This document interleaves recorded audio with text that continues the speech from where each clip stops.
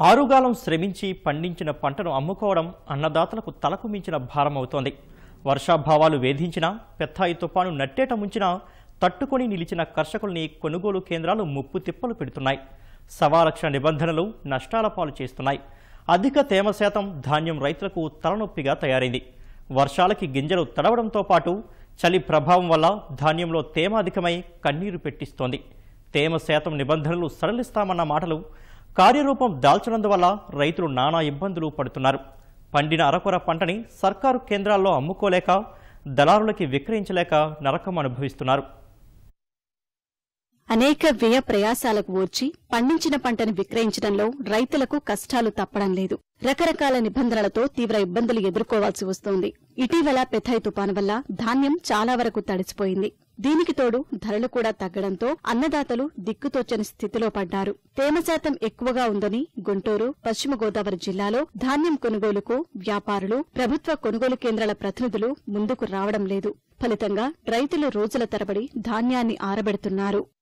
మాది వర్షం పడినప్పుడు కొంచెం తడిగా ఉందండి అదే తడి వడ్లే కోసాం. కోసి ఆరబెట్టుకోవడానికి ఇక్కడ తీసుకొచ్చి పోసాం అనమాట ఇక్కడ గత మూడు రోజుల నుంచి ఆరబెట్టుకుంటున్నాం. మామూలుగా రైతులు ఎట్లనే ఆరబెట్టుకోవచ్చు. మా ఊర్లో ఖాళీ లేదు సార్. వర్షాలకి అక్కడ అంతా నీళ్ళు ఉండేసరికి ఇక్కడైతే కనుక ఓపెన్ ప్లేస్. మనం ఆరబెట్టుకోవడానికి ఖాళీ ఉంది కాబట్టి ఇక్కడ తీసుకొచ్చి పోసాం. ఇక్కడ సిమెంట్ రోడ్డు ఉంది సార్. కన్వీనియంట్గా ఉంటుంది ఇక్కడ కూడా బాగా. అందుకోసం తీసుకొచ్చి ఏమన్నా స్టోరేజ్ చేసుకోవడానికి కూడా మనకి ఆరిన తర్వాత ఇక్కడ లోకలే గోడౌన్స్లో స్టోరేజ్ చేసుకోవచ్చు. అంతకుముందు మేము కోసినప్పుడు అయితే ఇరవై రెండు ఉంది సార్. ఇప్పుడు ప్రజెంట్ పద్దెనిమిది వరకు చూసి తర్వాత మనం స్టోరేజ్ చేసుకోవచ్చు. ఎండబెట్టిన తర్వాత పద్దెనిమిది తేమ శాతం ఉంటే కనుక మనం లోడ్ చేసి గోడౌన్స్లో పెట్టుకోవచ్చు. అది వర్షం టైంలో అసలు రైతులు చాలా ఇబ్బంది పడ్డారు సార్. గుంటూరు జిల్లాలో ధాన్యం కొనుగోళ్ళు తొలిగా మొదలయ్యే కృష్ణా పశ్చిమ డెల్టాలోనూ ఇంకా ప్రారంభం కాలేదు. పల్నాడులో రెండు నెలల క్రితమే పంట సాగు చేసినందున డెల్టాలో అరవై తొమ్మిది చోట్లే ప్రభుత్వ కొనుగోలు కేంద్రాలు ఏర్పాటు చేశారు. అయితే ఇవి ఎక్కడున్నాయో తమకి తెలియదంటున్న రైతులు తక్కువ ధరకి వ్యాపారులకే విక్రయించి నష్టపోతున్నామంటున్నారు. పదకొండు వందల యాభై అండి. ఒకేసారి ఇంక వాన పడంగానే పదకొండు వందలకి పది వందలకి వచ్చింది మరి. రెండు ఎట్టే బయట వాళ్ళకి అమ్మేస్తా ఉన్నాం లేదండి అంత లాసేనండి ఏడు. ఇప్పుడు అవుతే ముప్పై బత్తలు అవుతుంది లేకపోతే ఇరవై ఎనిమిది ఇరవై ఏడు అవుతున్నాయండి నలభై వేలు అవుతుంది ఖర్చు ఇంకేం చేస్తాండి ఇంకెళ్ళి చేసేది చేయడం ఏం లేదు కండి తప్పని పరిస్థితులు అమ్ముకోండి ఇంకా ఈ ఊళ్ళో ఇంకా అంతవరకు తెలియలేదండి ఎవరికి. ఎమ్మండి మిషన్ వేయటం బయట వాళ్ళు ఒకరు రావడం కొనటం. ఇంకా తక్కువ బక్కువ ముందు ఒడ్డిపోయిన తర్వాత అమ్మేస్తున్నారండి ఏమున్నాయి పండించినా కూడా ఉపయోగం లేకపోతున్నాయి. ఏం పడుతున్నాయి ముందుల్లో అంతా మోసమే అన్ని మోసమే. పదకొండు వందలు పన్నెండు వందలు ఖర్చులు కాటికి సరిపోతాయి. మిగిలేదు ఏమీ లేదు వేసుకున్నాం వాళ్ళకి. మా కమ్ముకుంటే రైతులు కాడ తెచ్చి ఊరుకోరుగా. మరి అలా గట్టాలిగా. లేదు గిట్టుబాటు కావద్దు. ఖర్చులు పెరిగినాయి. ఆట అప్పుడు అంతే ఇప్పుడు అంతే ఎప్పుడైనా అంతే. ఏం మిగులుతున్నా ప్రభుత్వ కొనుగోలు కేంద్రాల్లో నిబంధనల ప్రకారం పదిహేడు శాతంకు మించి తేమ ఉండరాదని అధికారులు చెబుతున్నారు. తేమ శాతం అధికంగా ఉన్న ధాన్యాన్ని తిరిగి ఆరబెట్టుకోవాలని సూచిస్తున్నారు. ఈ రోజుకి నాలుగు రోజులు అవుతుంది సార్. ధాన్యం కొనుగోలు కేంద్రం ఓపెన్ చేసి.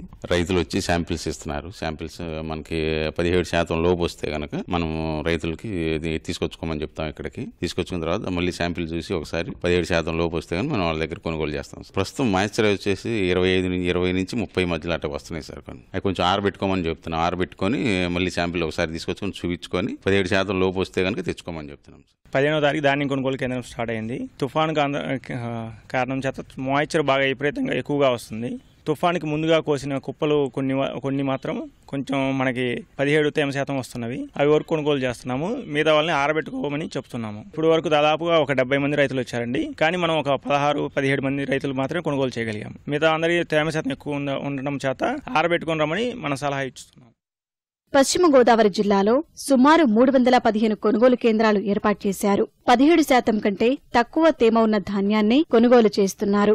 పదిహేడు శాతానికి మించి ఉంటే ఒక్కో శాతానికి బస్తాకు ఇరవై ఐదు రూపాయల చొప్పున కోత వేస్తున్నారని రైతులు ఆవేదన చెందుతున్నారు. తేమ శాతం పదిహేడుకి ఒక పాయింట్ ఉన్న కటింగేనంటే ఖచ్చితంగా పదిహేడు ఉండాలండి ఖచ్చితంగా పదిహేడు ఉండాలని మేమేం చేయండి ఎంతసేపు ఇంకో నెల రోజులు ఆరబెట్టాలి మేము ధాన్యం. ఖర్చు ఏమవుతుందండి ఇంకా?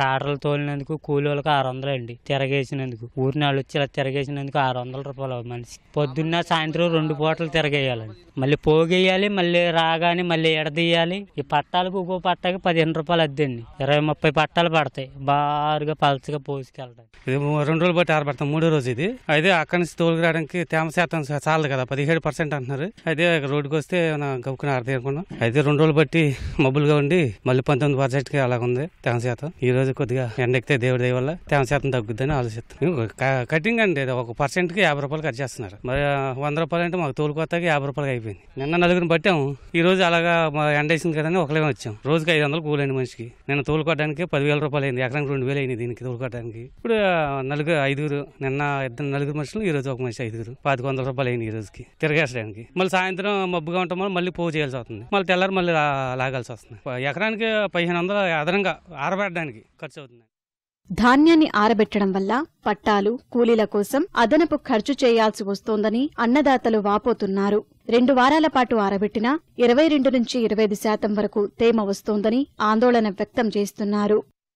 పండేది ముప్పై ఐదు కాడి నుంచి ముప్పై లోపు అలా పండుతున్నాయండి. దీంట్లో ఖర్చులు పోనీ ఏం ఆ రైతుకి అంత ఆదర్శంగా ఏం కనమట్లేదండి అర్థం అవునండి. దానికి చాలా ప్రాసెస్ చేయాల్సి వస్తుందండి. పలసగా ఆరబెట్టమంటున్నారు అది సెవెంటీన్ పర్సెంట్ రావాలంటున్నారు. అది వచ్చిన తర్వాత మిల్లరు అక్కడ తీసుకెళ్ళాక నన్ను నచ్చితే తీసుకుంటున్నాడు. లేకపోతే కనుక బాధ పెడుతున్నాడండి. అదే ఏంటంటే ఈ ఈ వ్యవసాయానికి అలవాటు పడిపోయి ఎక్కడికా ఏం చేయలేక ఇంకా ఇదే మాకు బతుకు తెరువు ఇదే అవడం వల్ల మేము వ్యవసాయం చేసుకొని ఈ పనులు అలా చేసుకొని ఇలాగే కా- సాగిస్తున్నామండి. ధాన్యం ఎలా నానా తిప్పలు పడుతున్నాం రైతు ఆ కమిషన్ వ్యాపార వాళ్ళు కూడా కొంచెం ఇదిగా పడుతున్నారు. ఎందుకంటే కొనుగోలు ఆరబెట్టండి అంటున్నారు. మరి మేము చూస్తే పైన వాతావరణం కష్టపడి లోపల వచ్చేవాడు బోళ్ళు ఖర్చు అయింది బయటకు వచ్చేవాడికి. ఎక్కువ ఉంటే తీసుకోవట్లేదండి. పద్దెనిమిది పంతొమ్మిది అయినా తీసుకోవట్లేదండి. పదిహేను లోపల ఉంటేనే తీసుకుంటున్నారు. ఈ పట్టాలు ఒక్కో పట్ట పట్ట వచ్చి పదిహేను రూపాయలు. పదిహేను రూపాయలు ఈ కనీసంగా మూడు రోజులు అవుతుందో పది రోజులు అవుతుందో తెలవదండి. ఇవాళ నాలుగు ఇంకా మూడు రోజులకి వెళ్తాయో చెప్పలేము అంటున్నారు రైతులు పండించిన ధాన్యాన్ని సాధారణంగా ప్రభుత్వ కొనుగోలు కేంద్రాల్లోనే కొనాలి. తేమ శాతం చూసిన తర్వాత మద్దతు ధర మేరకు రైతుకు డబ్బు చెల్లించాలి. అయితే కొనుగోలు కేంద్రాల్లో ఎక్కడా తేమ శాతం చూసే యంత్రాలు పనిచేయకపోగా కొనుగోలు కేంద్రాల పేరుతో మిల్లర్లే ధాన్యం కొనుగోలు చేస్తున్నారని రైతు నేతలు ఆరోపిస్తున్నారు. ఏదైతే తేమ శాతం లెక్కింపు మిషన్లు ఉన్నాయో ఆ మిషన్లు కూడా పనిచేయట్లేదని చెప్పేసి ఇవాళ మిల్లర్లు కానీ కమిషన్ ఆ కమిషన్దారులు కానీ కొనుగోలు కేంద్రాల్లో కానీ సాగు చూపిస్తా ఉన్నారు. మేము చాలా చోట్ల మిషన్లు పనిచేయడం లేదు. ఒకవైపు కొనుగోలు కేంద్రం దగ్గర ఉన్న మిషన్ దగ్గర ఒక రకమైన తేమ శాతం వస్తూ ఉంటే మిల్లర్ దగ్గర ఉన్న కొనుగో తేమ శాతం లెక్కింపు మిషన్లో మరో రకంగా చూపిస్తున్న పరిస్థితి కూడా ఉన్నది. ఈ రకంగా చూస్తే తేమ శాతం లెక్కింపులో జరుగుతున్న మోసాల వల్ల రైతాంగం తీవ్రంగా నష్టపోతా ఉన్నారు. ఈ రోజు ప్రభుత్వం ప్రకటించిన మద్దతు ధర చాలా తక్కువగా ఉన్నది. కనీస మద్దతు ధర కూడా రైతాంగానికి అందే పరిస్థితి కనబడడం లేదు. ఈ రోజున ఈ తేమ శాతం లెక్కింపులో తీవ్రమైన మోసాలు జరుగుతున్నా ప్రభుత్వం గానీ ప్రభుత్వ యంత్రాంగం గానీ ఎక్కడా కూడా పట్టించుకునే పరిస్థితి లేదు. మొబైల్ తేమ శాతం మిషన్లు పెడతామని చెప్పారు ఎక్కడ పెట్టే పరిస్థితి లేదు. దీని ద్వారా తేమ శాతం పేరుతో తీవ్రంగా నష్టపోతా ఉన్నారు. వర్షాలు వరదల వేళ రైతులకు ఉపయోగపడాల్సిన ధాన్యం ఆరబెట్టే యంత్రాలు మూలన చేరాయి. లక్షల రూపాయలు వెచ్చించిన యంత్రాలు తుప్పుపట్టిపోతున్నాయి. తుపాను వచ్చి పనలు కల్లాల మీద ధాన్యం తడిసిపోయే వేళ కూడా అధికారులు డ్రయర్లని వాడలేదు. ఈ డ్రైయర్లు మన తెలుగుదేశం ప్రభుత్వం వచ్చిన తర్వాత కొనుగోలు చేశారు. తర్వాత ఇప్పటి వరకు కొనుగోలు చేసి మార్కెట్ యార్డుల్లో ఈ ఏఎంసీలో ఉన్న సంగతి ఒకళ్ళ ఇద్దరికి రైతులు తప్ప రై- చిన్న సన్నకారు రైతులకి అసలు తెలియదు అసలు. తెలిస్తే దీన్ని ఉపయోగించుకోవడం జరిగింది. ఇంతవరకు దీన్ని ఓపెన్ చేసి దీన్ని పనితనం చూసిన వాళ్ళు లేరు ఇక. అప్పటి నుంచి తుప్పు పట్టిపోతా ఉన్నాయి ఇప్పటికి. దీన్ని వాడకం లేదు అసలు ఇంతవరకు. ఇప్పుడు ఇలాంటి ప్రకృతి వైపరీత్యాలు సంభవించినప్పుడు దాన్ని రైతుకి ఉపయోగపడటం దీన్ని కొనుగోలు చేశారు అప్పుడు. అప్పటి నుంచి ఇప్పటికి ఏమీ చేయలేదు దాన్ని ఎట్లా ఉపయోగించుకోవాలో కూడా చెప్పలేవు దాన్ని ఉపయోగించే వాళ్ళు కూడా లేరు ఇప్పుడు. పెథాయ్ తుపాను విధ్వంసానికి దిగుబడి తగ్గిపోగా రోకటి పోటులా ఇప్పుడు ధరలు పడిపోయి కర్షకులు భారీగా నష్టపోతున్నారు. ఆదుకోవాల్సిన కొనుగోలు కేంద్రాలు అక్కరికి రావడం లేదు.